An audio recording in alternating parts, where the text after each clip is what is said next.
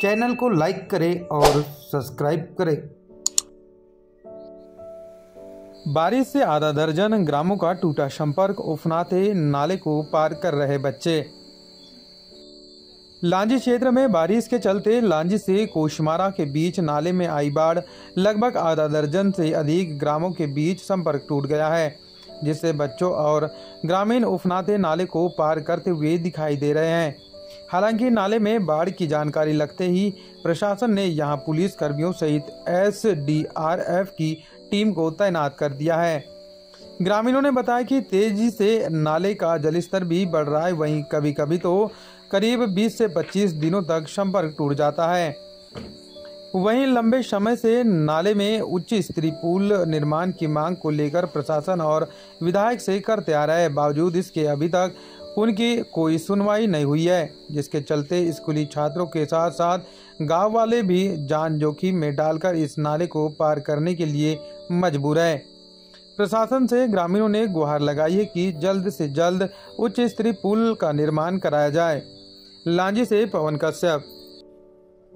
हमेशा होती है यहाँ हर हमेशा बिल्कुल। बारिश में तो बहुत ज़्यादा दिक्कतें होती है बिल्कुल एक दिन दो दिन में हमारे बच्चे आ नहीं सकते। अच्छा। जैसे स्कूल जाना है उनको लांजी जाना है पवनी जाना है बच्चों को बहुत दिक्कतें होती है। कितने गाँव है जिनका संपर्क टूटा हुआ है अभी? तो कम से कम बीस पच्चीस गाँव है यहाँ बीस पच्चीस। जो मोस्टली ज़्यादा आवागमन करते हैं कितने? कम से कम सात आठ गाँव सात आठ गाँव है? जी जी। जो पौनी खुल और अपना लांजी तक जाओ जाना करते हैं अच्छा ये जो है इसके ऊपर में उच्च स्तरीय पुल की कभी मांग नहीं की आप लोगों ने? हमने बहुत पहले की सरपंच नहीं था उसके पहले भी दो चार बार मैंने किया हूँ। इसका वीडियो बना के दिया हूँ पकड़ने में क्या है, आज अभी तक प्रयास किए गए या एक बड़ा अभी आपने जब सरपंच बने हैं तब आपने कोई कार्रवाई की है अभी नहीं अभी तो नहीं किया फ़िलहाल में। अच्छा। लेकिन अभी आप लिखेंगे? जी जी जी। बहुत सारी दिक्कतें हो रही है। कभी कभी भी काल के गाल में समा सकता है यहाँ पे अच्छा। तो छोटे छोटे बच्चे पार कर रहे हैं स्कूली बच्चे पार कर रहे हैं यहाँ पे आने जाने वाले। यानी मुख्य मार्ग है लांजी लांजी से मतलब लांजी को जोड़ने वाला मुख्य मार्ग है। इसके अलावा दूसरा कोई मार्ग नहीं है? नहीं नहीं कोई मार्ग नहीं है परेशानियाँ मार्ग नहीं है। तो कितनी क्या क्या परेशानियाँ होती है जब? बारिश के दिनों में जैसे बाढ़ आ गया तो पार नहीं हो सकते ना एंबुलेंस आ सकता है इधर ना कोई प्रकार का सुविधा है कुछ भी नहीं है। अगर कोई व्यक्ति बीमार पड़ेगा तो घर में ही मर जाएगा मगर ऐसे किसी प्रकार का यहाँ पे सुविधा नहीं है। सुविधा नहीं है। सिर्फ़ एक ही मार्ग है ये लांजी जाने के लिए। अच्छा। और शासन प्रशासन से बहुत जल्द इसके ऊपर पुल बनना चाहिए। बहुत- जी बहुत जल्दी पुल बनना चाहिए। ग्रामीणों की तरफ़ से मांग करते हैं? जी जी। सभी ग्रामीणों की तरफ़ से मांग करते हैं कि बहुत जल्दी पुल बनना चाहिए।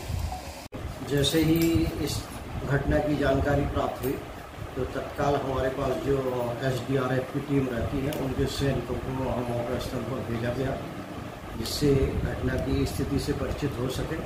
और चूँकि पुलिया डूब गई है, नीचे से ड्रेनेज पाइप ना होने के कारण पानी रुका हुआ था तो दोनों तरफ़ दोनों, दो दो सैनिकों को खड़ा करा दिया गया, जिससे आवागमन उनका उस पुल पर से प्रतिबंधित कर दिया गया है।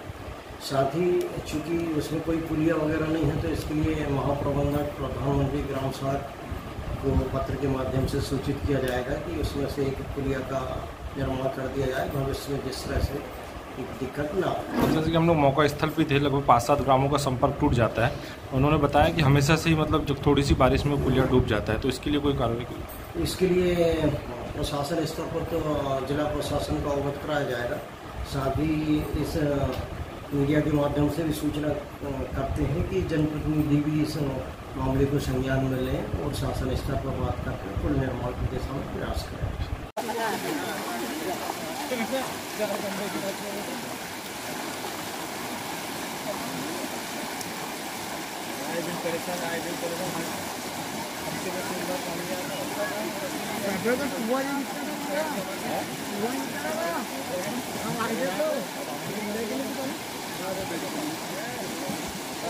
आप देख रहे हैं बालाघाट खबर।